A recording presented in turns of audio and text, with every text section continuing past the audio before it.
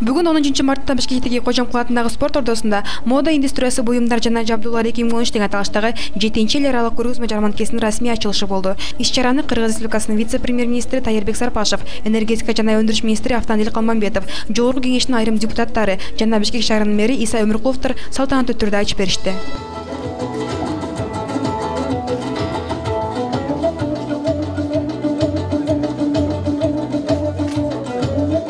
расмий ачылыштан кийин иш чарага келген делегация жарманкеге коюлган кийим кечектерге буюм тайындарга көз салышты.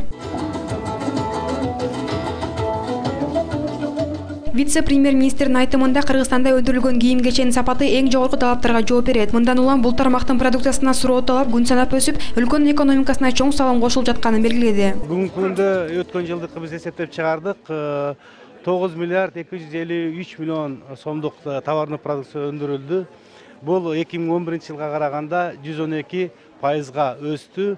Э, әлбетте э, бұл дағы э, мындай бір аны ішіне алып қарағанда текстиль жағы, азыраак өстү. Бир жарым пайызга гана өстү дагы. Он жети пайызга негизинен тигүү тармагы өстү. Бул Э, бизди абдан э, кубандырат. Э, и быйыл дагы ошондой жыл сайын ушундай темп менен кетет деген үмүтүбүз бар.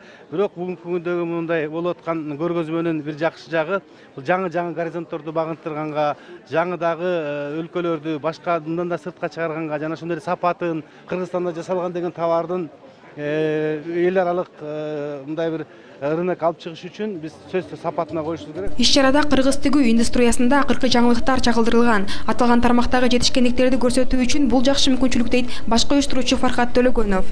Биздин ишканаларга мүмкүнчүлүк түзүп берүү э, бул жакта быйыл буюрса мына германиядан келип атат кишилер келишти. Турциядан кореядан жапониядан Э, анан кийин э, ушуларга бир площадка түзүп беришибиз керек да. Контракт түзүлө тургандай оптовиктер келип атат. Россиядан эки чоң компания келишкен сетевой оптовый торговля боюнча.